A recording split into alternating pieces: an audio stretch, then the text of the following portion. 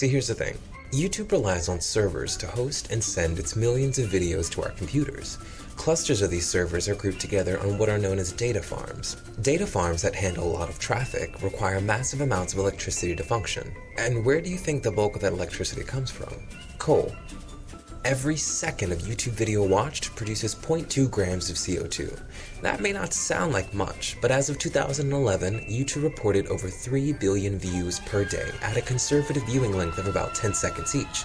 That's a bit more than 78,000 tons a year, or the amount of CO2 generated by 4,500 Americans. In reality, that's not bad at all, and Google, YouTube's owner, has been actively engaged in the greening of its data farms. The real problem is with the rest of the world's servers. There are an estimated 44 million servers worldwide. As of 2010, these servers' electricity demands were producing CO2 at levels on par with small countries like Argentina. But as data demands increase, data farm emissions are projected to quadruple by 2020. In the future, data intense companies like Apple, Facebook, and Twitter will have to revolutionize the way they handle their data. But only if people like us let them know that we care and we're aware. Join the sustainable data movement.